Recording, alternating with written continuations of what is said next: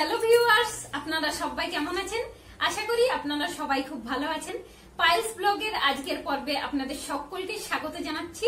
আজ আমি আপনাদের সঙ্গে শেয়ার করব মাছের টকের রেসিপি তো চলুন, তৈরি করে ফেলি মাছের টক।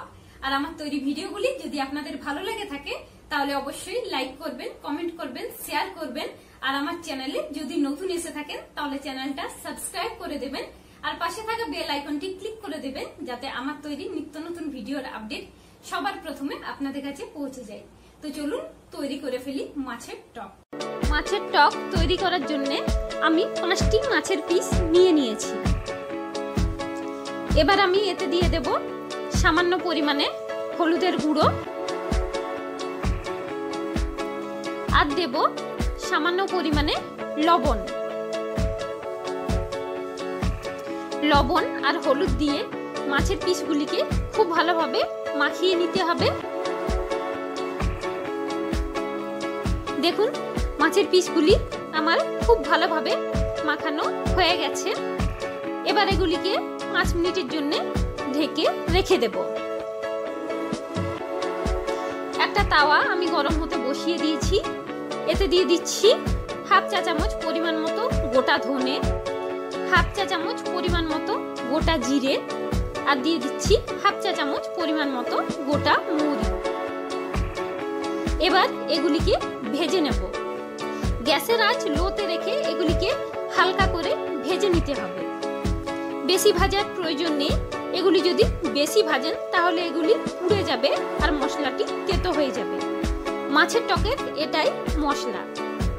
দেখুন, এগুলি ভাজা হয়ে গেছে। এবার গ্যাসের ফ্লেমটা বন্ধ করে দিতে হবে। এবার এগুলিকে হালকা ঠান্ডা করে খুব ভালোভাবে গুঁড়ো করে নিতে হবে। মাছগুলি ভাজার জন্য আমি একটা কড়াইয়ে তেল গরম হতে বসিয়ে দিয়েছি। তেলটা খুব ভালোভাবে গরম করে নিতে হবে। তেলটা থেকে যেন ধোঁয়া বের হয়। যদি ভালোভাবে গরম না করেন, মাছগুলি যখন দেবেন, তখন কিন্তু মাছগুলি কড়াইতে চিটিয়ে যাবে আর মাছগুলি ভেঙে যাবে। আমি একটা একটা করে মাছের পিস কড়াইয়ের মধ্যে দিয়ে দিচ্ছি। মাছের এক সাইডটা ভালোভাবে ভাজা হয়ে গেলে তবেই আরেক সাইডটা উল্টাবেন এক সাইডটা আমার ভাজা হয়ে গেছে। এবার আমি আরেক পাশটা উল্টে দিচ্ছি। সাবধানে উল্টাবেন যেন তেলটা ছিটকে না যায়। মাছটা যখন উল্টাবেন, তখন গ্যাসের আঁচটা একটু কমিয়ে দিতে পারেন। তাহলে তেলটা কম ছিটকে যায়। আমি এরকম করেই মাছ ভাজি। এবার এই সাইডটাও আমি খুব ভালোভাবে ভেজে নেব। মাছের টক যখন তৈরি করবেন, তখন মাছগুলিকে একটু কড়া করে ভেজে নেবেন। দেখুন মাছগুলি কড়া করে ভাজা হয়ে গেছে। এবার আমি একটা একটা করে মাছের পিসগুলি তুলে নিচ্ছি।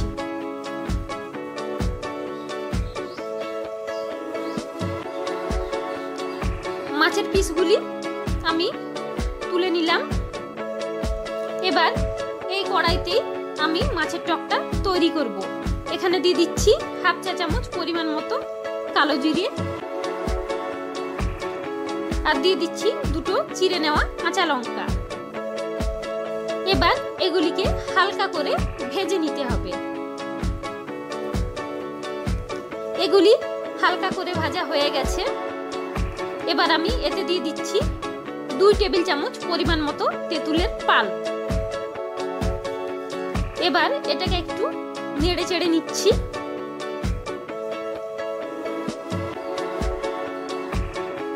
এবার আমি এখানে দিয়ে দেব ওয়ান ফোর্থ চা চামচ পরিমাণ মতো হলুদের গুঁড়ো। আর দিচ্ছি ওয়ান ফোর্থ চা চামচ পরিমাণ মতো লবণ। এবার এটাকে একটু ভালো করে নেড়ে চেড়ে ফুটিয়ে নিচ্ছি। এবার এতে আমি দিয়ে দেব দুই টেবিল চামচ পরিমাণ মতো চিনি। মাছের টক একটু মিষ্টি হয়, তাই চিনিটা একটু বেশি দিতে হবে। তবে আপনারা যদি কম মিষ্টি চান, তাহলে চিনিটা কম ব্যবহার করবেন। এবার এটাকে একটু ফুটিয়ে নিলাম, এতে দিয়ে দিলাম সামান্য পরিমাণে জল। জলটা আন্দাজ মতো দিয়ে নেবেন, কারণ মাছগুলি এটাতে দিয়ে আরেকটু ফুটিয়ে নিতে হবে। এগুলি ভালোভাবে ফুটিয়ে নেব।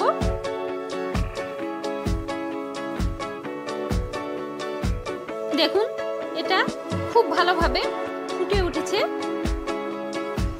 এবার এখানে আমি দিয়ে দেব কড়া করে ভেজে নেওয়া মাছের পিসগুলি। মাছের পিসগুলি একটা একটা করে আমি ঝোলটাতে দিয়ে দিচ্ছি। এবার ঝোলটাকে ছয় থেকে সাত মিনিট ধরে ভালো করে ফুটিয়ে নেব। এটা আমি ঢাকা দিয়ে ছয় থেকে সাত মিনিট ফুটিয়ে নিচ্ছি। দেখুন, এটা আমার খুব ভালোভাবে ফোটানো হয়ে গেছে।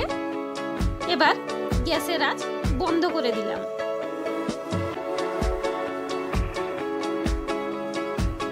ঢাকাটা আমি খুলে দিলাম।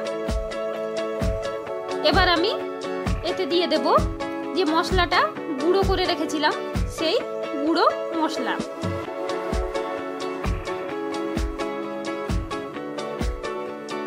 এবার এটাকে একটু নেড়ে চেড়ে দু মিনিটের মতো স্ট্যান্ডিং টাইমে রেখে দেব।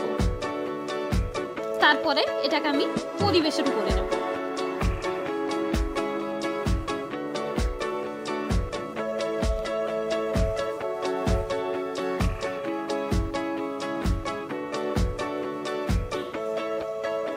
দেখুন, তৈরি হয়ে গেছে মাছের টক। এটা গরম ভাতের সঙ্গে খেতে খুবই ভালো লাগে।